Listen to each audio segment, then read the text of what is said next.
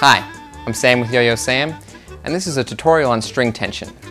Now yo-yo string is twisted, so you know when you mess up and your yo-yo spins out, it's going to affect that string tension. It's going to make the string too tight or too loose.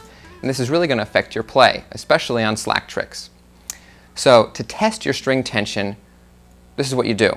Throw a sleeper.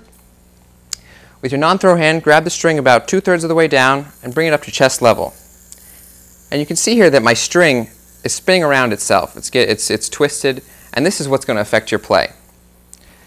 So to fix that, let me show you what to do. What you're going to want to do is throw a sleeper, and you're going to want to take your thumb on the right side of the string, and you're going to want to tug up on the string, and while you do that, bring your thumb to the left of you.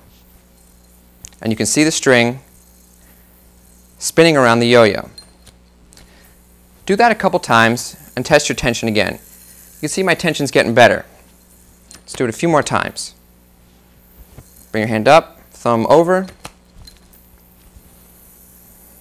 Now you can see my string has that nice U shape.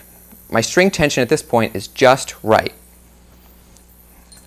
So learn this video, get your string tension just right, and it's really going to help your yo-yo play. I'm Sam with Yo-Yo Sam, and that was string tension.